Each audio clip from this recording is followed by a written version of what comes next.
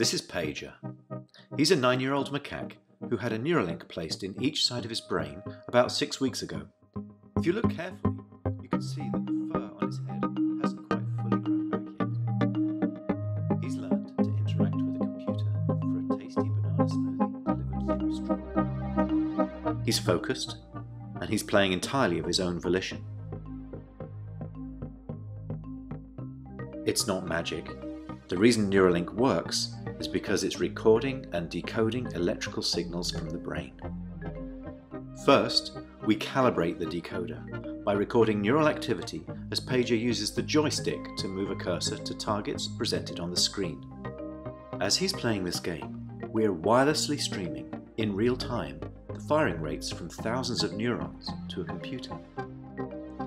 Using these data, we calibrate the decoder by mathematically modelling the relationship between patterns of neural activity and the different joystick movements they produce.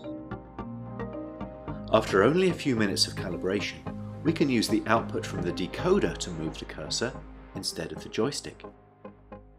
Pager still moves the joystick out of habit, but as you can see, it's unplugged.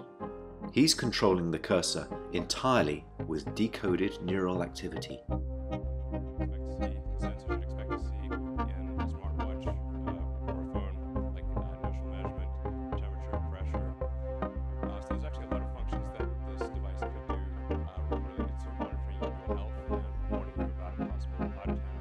It's kind of like a Fitbit in your skull with tiny wires. Our goal is to enable a person with paralysis to use a computer or phone with their brain activity alone. Because they wouldn't be able to move a joystick, they would calibrate the decoder by imagining hand movements to targets. Great game, Pager.